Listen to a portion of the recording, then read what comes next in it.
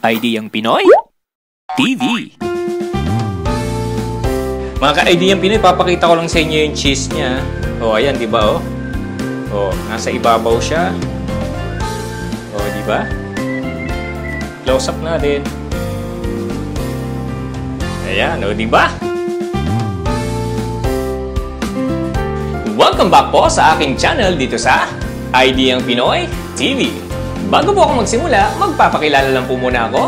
Ako po si James Sumakyo at kung bago lang po kayo sa aking channel, huwag niyo naman pong kakalimutan na mag-subscribe at pakiturn on na rin po ang notification bell para updated po kayo sa tuwing ako po ay mag-upload ng panibagong video. ID ang Pinoy TV.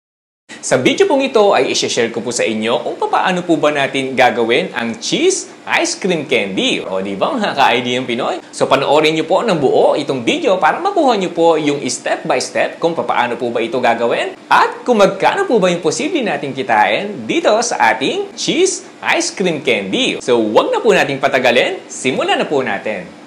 ID ang Pinoy TV. Mag-ready po tayo ng dalawang cup at kalahating kasaba flour. Ganito pong karami yung gagamitin natin kasaba ngayon mga ka-ID ang Pinoy ha. Oops, tumapon. Bukod po sa kasaba flour ay gagamit din po tayo ng asukal na puti, Eden cheese, at Alaska evaporated milk. So ito lang pong apat na to ha. I-ready na po natin yung tubig. So dahil nga po pang negosyo itong share ko po sa inyo, ang kailangan po nating tubig ay 12 liters.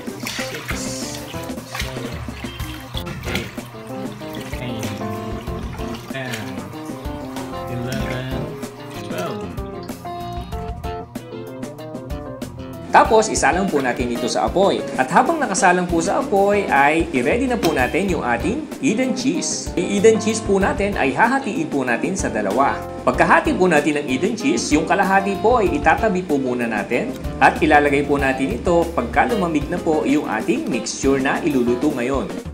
So ngayon, ilalagay po muna natin ito sa refrigerator para madali po natin siyang magagamit mamaya. So papakita ko po sa inyo kung bakit. O di ba meron pa kaming kaldero sa rep? Kanin po yun mga ka-ID yung Pinoy. So ngayon, yung kalahati po na gagamitin natin ay gagadgarin lang po natin. Diretso na po dito sa tubig habang pinapainit po natin. At mapapansin nyo po na habang ginagadgad po natin ay nag-iiba na po yung kulay. So ibig pong sabihin, yung cheese po ay unti-unti na pong natutunaw. So iyan po yung gagawin po natin talaga, tutunawin po natin itong kalahating cheese. Pagkatapos pong matunaw ng cheese ay isunod na po natin yung asukal na puti. So syempre po hahaluin po natin para ito po ay ma-dissolve mabuti. Pagkatapos matunaw ng asukal na puti ay isunod na po natin yung Alaska Evaporated Milk. Ayan ha, so pag, sa pagkakataong ito po ay maaamoy nyo na itong niluluto natin. Tapos iwanan po muna natin ito ng 10 minuto. Habang naghihintay po tayo ng 10 minuto ay i-dissolve po muna natin yung ating cassava flour sa isa at kalahating cup na tubig. After 10 minutes po ay pwede na po nating ilagay yung ating kasaba. Kung mapapansin nyo po may buo-buo pang cheese ha, hayaan nyo lang po siya at matutunaw naman po yan hanggang mamaya. Kung mapapansin nyo po mga ka-ID ang Pinoy ay lumapot na po yung ating mixture. So ang gagawin po natin ay hintayin na lang po natin itong lumamig para mailagay pa po natin yung iba pang sangkap. Pag malamig na po yung mixture na niluto po natin, ay i-ready na po natin yung iba pang sangkap. Oy, nalaglag! Ang gagamitin po nating sukat ay 1/4 teaspoon na egg yellow. So ito pa po yung ginamit natin nung nakaraan. So ang gagawin po natin ay i-dissolve lang po natin ito sa 1/4 teaspoon din po na tubig. Oy, ako sumobra. Dahan-dahan lang mga ka-ID yung Pinoy ha. Ayan, nasobrahan yung nailagay ko pero tingin ko'y okay pa yon. Siyempre, tutunawin lang po natin itong ating food color na egg yellow. Ilagay na po natin yung iba pang sangkap mga ka-ID ng Pinoy. Sa bukod nga po sa food color na gagamitin natin ay gagamitin po tayo ng dalawang cowbell kondensada at yung ating pong kalahating cheese na natira. So ngayon po natin ito gagamitin ha. Unahin na po natin ilagay yung dalawang cowbell kondensada. Yan, simutin nyo po mga ka-ID ng Pinoy ha. Sayang po yung maiiwan. Pagkalagay po natin ng dalawang condense ay isunod na po natin yung ating food color. So ilagay niyo pong lahat yung food color ha, mga ka-ID ang Pinoy ha, kasi maganda naman po yung kalalabasan nito. Cheese po talaga yung magiging kulay niya. Pagkalagay po natin ng food color ay isunod na po natin gadgarin yung ating natitirang Eden cheese. Yan ha, so ganito lang po. So ngayon halu-haluin nyo lang po at ready na po itong i-repack.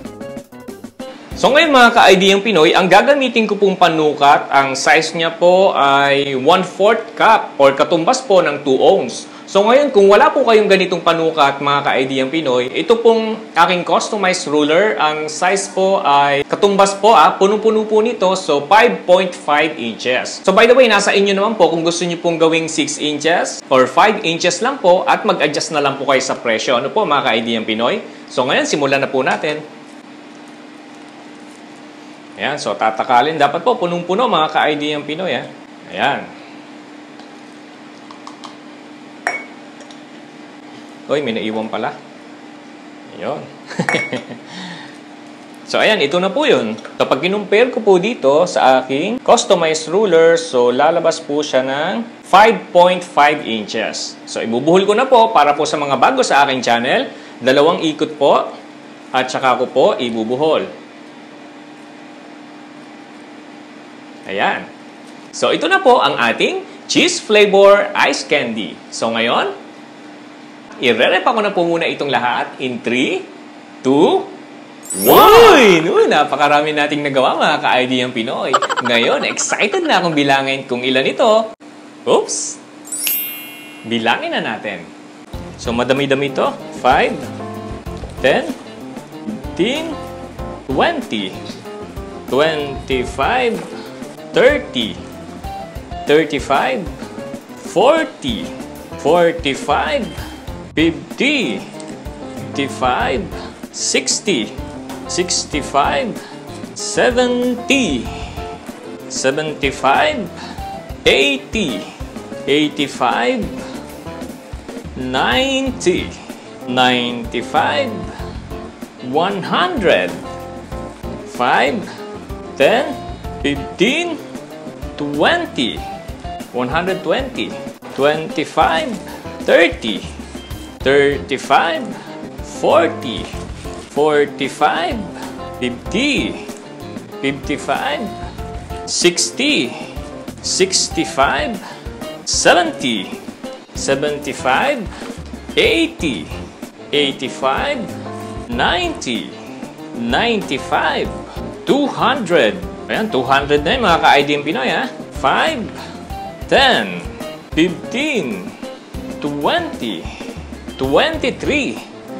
223 pieces mga ka-ID ang Napakarami po nito mga ka-ID ang Pinoy ha. So bago ko po ibigay kung magkano po ba yung posible nating kitain, ito po muna yung mga nagastos po natin. Isang 430 grams na Eden cheese, ito po ay 126 pesos. Dalawang kilong asukal na puti, ang isa po ay 65 pesos. 130 pesos po yung dalawa dalawang 300 ml cowbell condensada, 33.5 po ang isa, 67 pesos po yung dalawa, isang 370 ml na Alaska evaporated milk, 41.50, dalawa at kalahating cup ng cassava flour. So, medyo tumaas po yung pagkakabili ko po ng cassava flour. So, ito po, papatak po ng 4.5 per cup. So, ang presyo po ng 2.5 cup ay 13.5 pesos.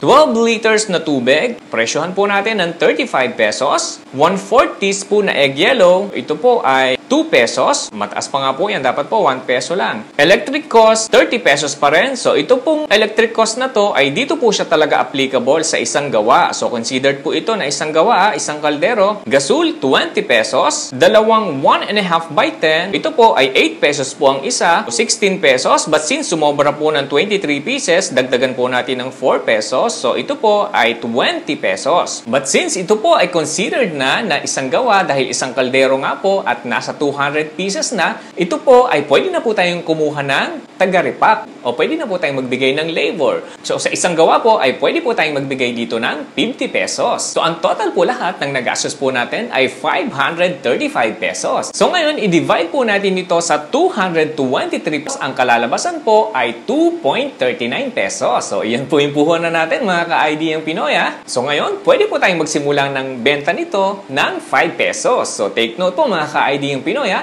po pwede po nating ibenta ito ng hanggang 7 pesos at iyon po ay depende po sa inyong location. Ayan ha. So magkano nga po ba yung kikitain natin kung 5 pesos? So 5 times 223 pieces, ang kalalabasan po ay 1,115 pesos. At ilales po natin sa 535 pesos na nagastos po natin. So ang kikitain po natin ay 580 pesos. O di ba mga ka-ID ang Pinoy ha? 5 pesos pa lang yun ha? Medyo malaki na yung kikitain natin. So yun lang po na mga ka-ID ang Pinoy. Bago po tayo magtapos, magpapakilala lang po akong muli. Ako po si James Sumakyo at kung bago lang po kayo sa aking channel, huwag niyo naman pong kakalimutan na mag-subscribe at pakiturn on na rin po ang notification bell para updated po kayo sa tuwing ako po ay mag-upload ng panibagong video. Muli, hanggang sa susunod na ID ang Pinoy TV. ID ang Pinoy TV.